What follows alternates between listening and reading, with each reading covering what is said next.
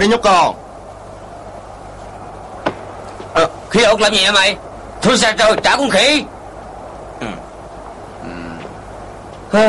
Thôi đến trái túi luôn. Lại nói tầm bậy nữa rồi. Nếu biết anh ở đây tôi sẽ đồng quan với anh. Thông cảm thêm vài ngày nữa đi. Hồi nãy mày nói trẻ cái gì? À, Hồi nãy tôi đang nói tầm bậy thôi. Bỏ qua đi nha. Tôi nhất định sẽ trả mà. Hai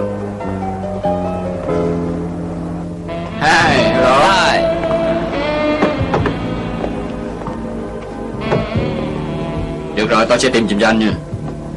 Hai. Ba một. Hai.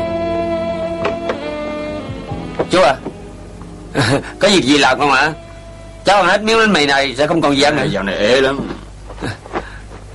Chú coi nè Đi đến nổi cái bụng của cháu nè. Chú le lưỡi ra coi đi. Được cái giỡn mà. Lẹ ra đi. Đấy. Wow, chú coi cái lưỡi của chú kìa Vừa dài vừa lớn y như là cái tâm chân vậy Chú coi coi cháu nè. Ừ. Cháu bú thiệt là ngộ quá Chú đừng cười cháu nữa. Nếu không có gì ăn không nhưng phải bú còn phải ăn luôn cái lưỡi nữa đó. Ừ. Thôi được rồi. Bây giờ có một việc làm Không ai chịu làm hết. Không biết cháu có chịu làm Chịu chứ. à, Phòng thí nghiệm đại học nó cần một vật thí nghiệm. Không biết cháu chịu đừng nói hay không đó. Sao lại không được Cháu chịu đừng được mà.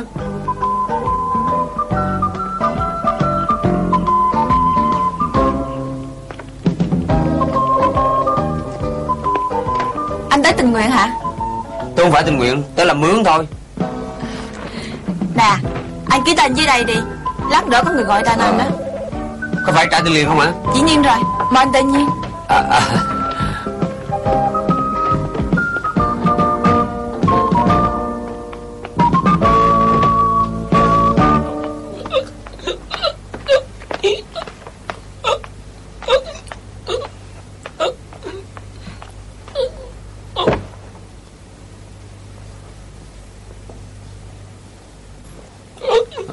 Anh cũng tới làm thí nghiệm à?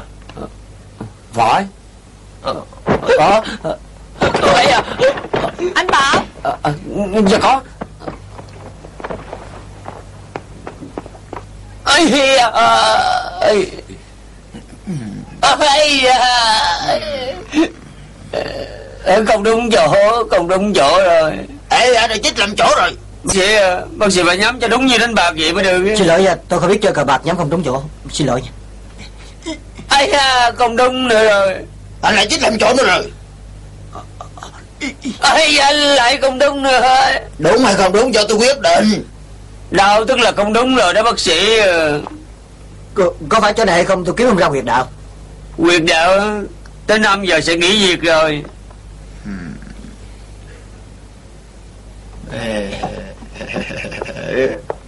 Lần này rất khác Khoảng cách việc đạo mỗi người đều khác nhau, Nhưng khác biệt không xa lắm. Sau đây chúng ta học về thủ pháp. Bệnh nhân có cảm giác nhức nhội Chúng ta gọi là đắc khí, Có nghĩa là hữu hiệu. Hầu để tăng cường hiệu quả, Chúng ta sẽ lợi dụng một bộ máy điện liệu.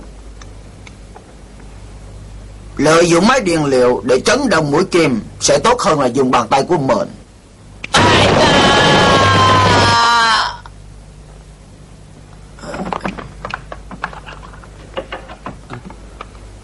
À, Tổ đi dặn kia là đừng có dùng dòng điện hai triệu rồi mà. Mời hai vị quay đây lấy tiền thù lao.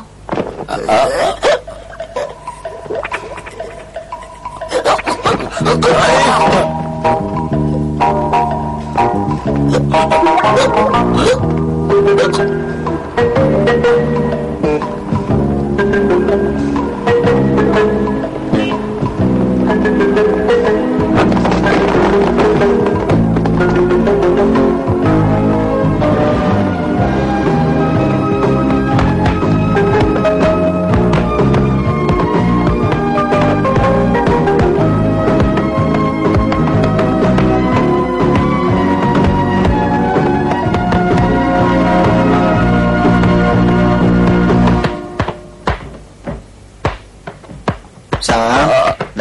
trước hả? Qua đây ngồi nói chuyện đi Giờ này sao rồi hả? Không được khá lắm. Chắc là thua cháy tối mắc nợ tùm lum rồi chứ gì à, à, Chú Tài à Có việc làm giới thiệu cho cháu đi. Kêu mày làm bao cát để người ta tập vợt. Mày là chơi ít tiền. Hay là ra đấu quyền chợ đen đi. Thua thì đợi đó một chút Ăn thì có thể trả nợ mà. Bọn chú tưởng cháu còn như lúc trước sao Khán giả coi đấu quyền trò đen là muốn coi mấy mấy màn tàn bạo thôi. Chịu đựng được thì không sao đâu. Nè tuổi như tao vậy á Vẫn còn có thể đánh như điên vậy đó. Cho dù mày nhanh tay cái mấy tao cũng thể đỡ được mà. À. à, Chú Tài Chú Tài à, à, à, Chú Tài Chú không sao chứ? Mày định lén tao mày? Sao không lên tiếng nha? Làm sao tao đỡ được? Chú coi nè Ta của cháu bị giật nổi cơn bất chợt Đâu còn làm được báo cát nữa Ê, Ờ có rồi đó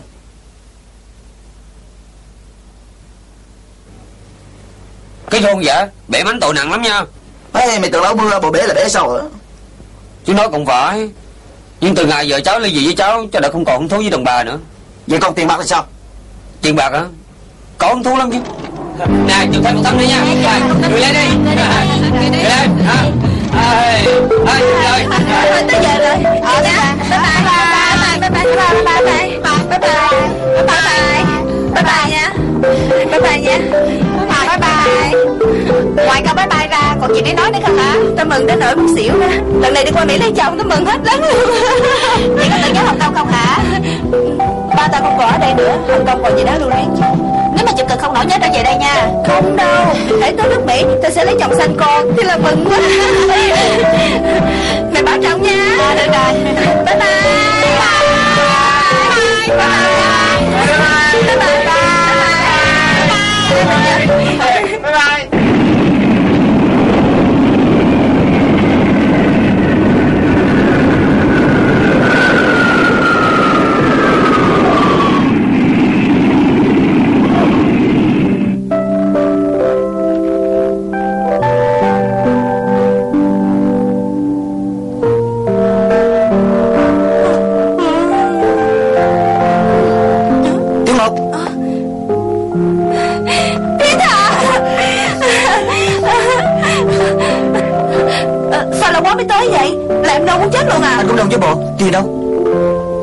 Mang tới rồi.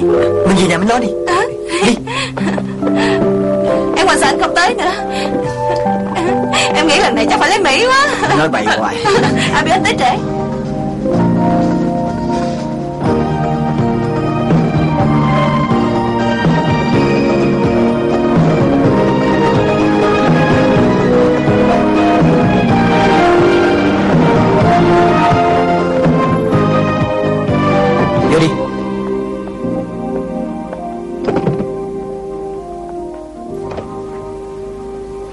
Tiền để trong bóp nè.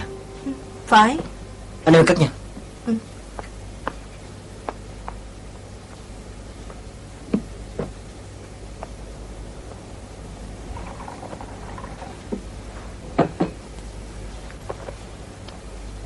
Nếu em không kết hôn giả Anh và em sẽ không lãnh được thẻ xanh đâu. Sau khi em kết hôn với người đàn ông đó Em chỉ cần ở trong nhà ông một thời gian Đợi cục gian tới điều tra rồi Em hết chuyện mà Phải sống với người đàn ông làm mặt một thời gian. Không phải. Cục di dân điều tra xong Chúng ta có thể sống chung. Hai năm sau ly dị với ổng Rồi mình có thể chính thức kết hôn mà. Ê Em bán nhà tới đây kiếm anh có phải ngu lắm Không bán mới là ngu đâu. Cả năm trời không gặp anh.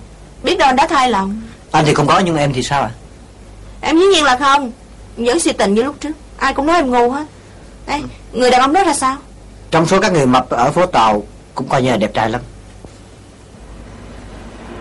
Hôm nay là một ngày lệnh Và cũng là một ngày tràn đầy vui vẻ Với sự hướng dẫn của Chúa Giêsu, Tất cả bà con thân thích Tụ tập nơi đây Để chứng kiến một cặp vợ chồng mới Kết hợp trước mặt Chúa. Sự kết hợp này là ý của Chúa Và sẽ được Chúa dình diện chốt phúc Thôi được Tôi phải chính thức hỏi ông Tiền Bảo Có phải tình nguyện lấy cô Lý Tiểu Ngọc làm vợ hợp pháp của ông không? Mãi tới khi chết không hả? Không thành vấn đề. Yes. Còn cô Cô Lý Tiểu Ngọc Cô có phải tình nguyện lấy ông Tiền Bảo làm chồng hợp pháp của cô Mãi tới khi chết không hả? Tôi tình nguyện. Có ai phản đối cuộc hôn nhân này không?